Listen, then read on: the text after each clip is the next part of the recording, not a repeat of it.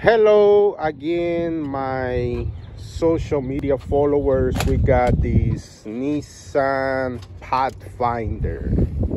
As you see here this is uh, a pathfinder that it's um it's the new generation. I think is uh, from 2013 and up. It's the same generation so um, we have here we have previously make a video about a uh, tough alternator that is on this truck. Um, basically this is a tough job.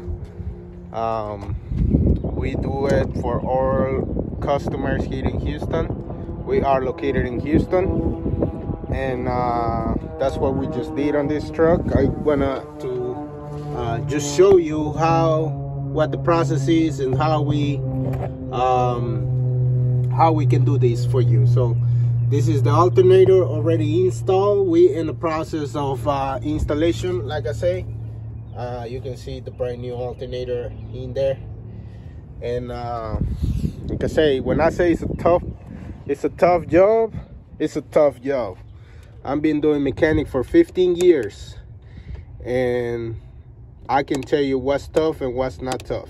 So uh, I'm here to do this job for you. Uh, this uh, car is hard to work on. I can tell you that. We have the proof here. This is the old alternator. And uh, it's already out. Like I say, the new one is already installed.